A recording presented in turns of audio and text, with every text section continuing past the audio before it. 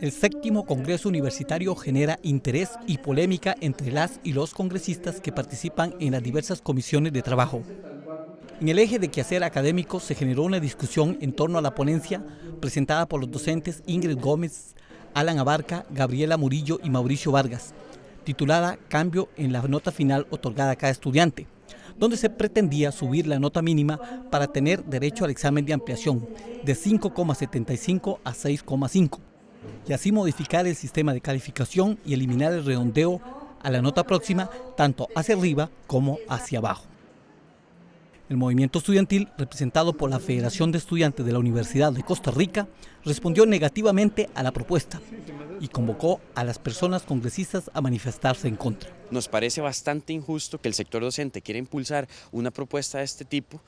eh, que simplemente viene a perjudicar y hacer aún más grave el problema del rezago, de los cursos que se reprueban, del no cumplir requisitos y, y del estar perdiendo créditos.